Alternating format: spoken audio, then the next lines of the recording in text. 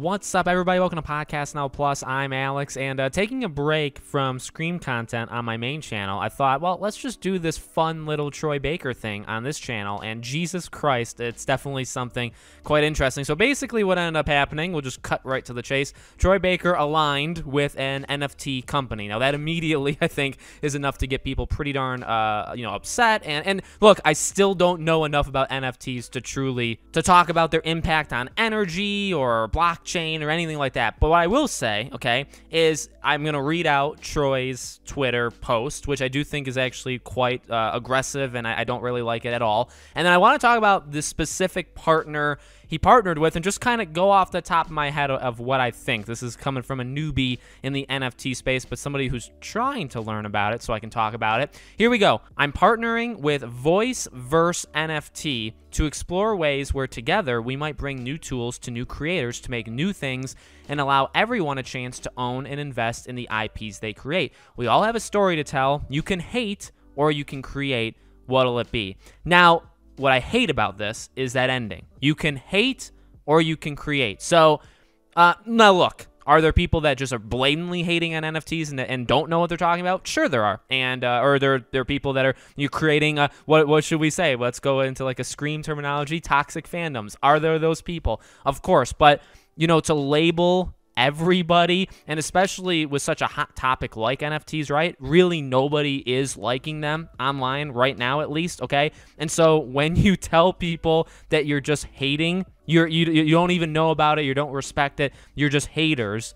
And and you're labeling everybody, and that everybody, by the way, is a very big group. It's a pretty stupid thing to do. Okay, so that's I you know it doesn't surprise me that's now I I mean well up until this point I like Troy. I felt like if there was somebody in this you know elite kind of uh, it's not really Hollywood elite. It's more like voice act, but there's still it's like an entertainment elite kind of uh, cl- uh, clique that they all have, right?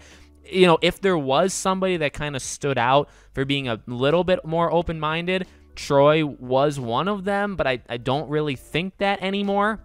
Now, what scares me, and again, I don't know enough about NFTs, so I'm just literally going to read these out and talk about it. Basically, what this company that he's endorsing is doing is this is an NFT for voices. So you can literally buy a voice, customize it, and you can use it for audiobooks, YouTube videos, e learning lectures, or even podcasts all without the hassle of additional legal work. This will also allow people with limited resources to access professional grade voices more easily. They provide unlimited perpetual access to the underlying AI voice that the NFT represents ownership of. If you own a voice NFT, you can create all kinds of voice content. Uh, then they go into the metaverse, which very much scares me. It's a new way for you to communicate and build up your persona in metaverse worlds. You can look like anyone you want to in the metaverse, and now you can sound like the NFT uh, you you own. Imagine being able to talk in the voice of the character you were playing as in a multiplayer game. Imagine the next level of immersive experience. So that like okay to me i just gotta be flat out honest with you the, the, idea of this stupid metaverse thing is not right at all it's very bad i think it's it's gonna be one of the most horrible things for society um we already as a society live in this echo chamber bubble that is called the internet. People don't really have any life experience. They just get all their knowledge from online. And i'm not saying i'm i'm some special person. No we all do it. We all think we know everything. And i guess we do have access to, to knowledge online and we can learn uh, quite a lot. We can learn more than we ever could. But everybody gets everything from like twitter or facebook whatever right? Very close-minded very we already are living almost an alternate persona on those websites. Uh, imagine there you can picture right, uh, like keyboard warriors, right? People that just kind of type behind their keyboard, they just insult people, and it's as easy as blocking other people. They can say whatever they want, right? So you don't have to be authentic. You don't have to be a real person. You're literally living behind your keyboard. You're living behind your computer. That's already, and that's bad. That's a, I mean, that's that's a bad thing. That's already what it is. Okay. Now imagine this Facebook thing, right? Going into the metaverse. Now you now they want you to live literally a different life. Like completely. They want you to give your life to them, which I mean Facebook already does a lot of stuff with with your personal information. You go into this metaverse and you are a completely different person now. Now does that sure Is that cool? Like VR? Oh, yeah, sweet. Like I'm going to get the PSVR, so maybe I'm a hypocrite. But I mean, I'm doing it to just experience games, to like go into Horizon's world and play around in it, look around, pretend I'm somewhere I'm not. But then I take the headset off, and guess what? I'm not actually there. This metaverse is not that. You're literally going in to like a recreated world and you're pretending to be somebody else. In fact, this stupid voice company admits that. Like the goal of Metaverse is to be somebody else. And now, not only can you be somebody else, but now you can change your voice. So if like I want to be Ghostface because all I can think about is Scream right now, I can just buy the voice of Roger L. Jackson. I can use it uh, and I can be that voice uh, online. I just don't.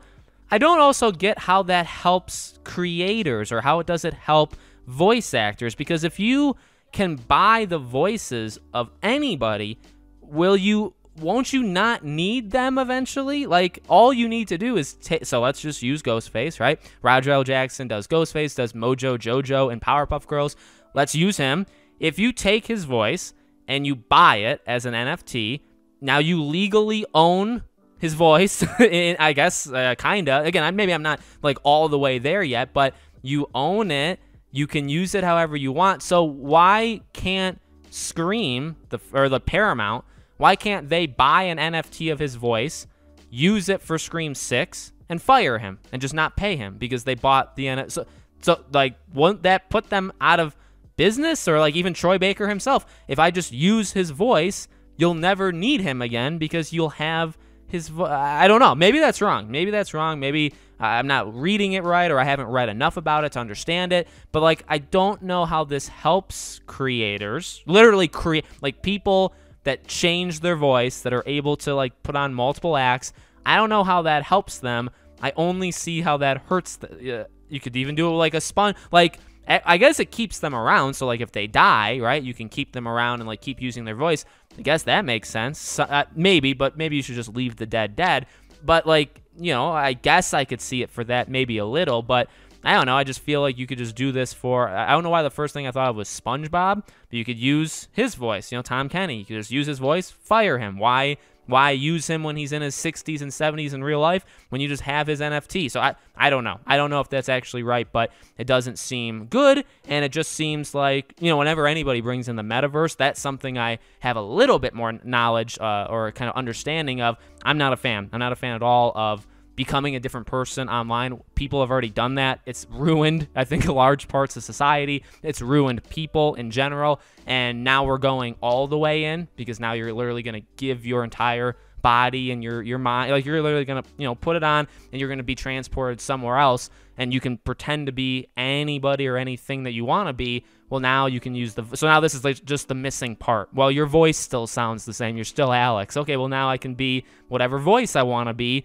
Meanwhile i can look like an alligator or you know whatever whatever the stupid thing is. So let me know what you guys think in the comments below. Make sure, as always, you guys are subscribed to the channel. Hit the bell icon so you guys know when all these videos go up. And I hope to see you guys on tomorrow's video.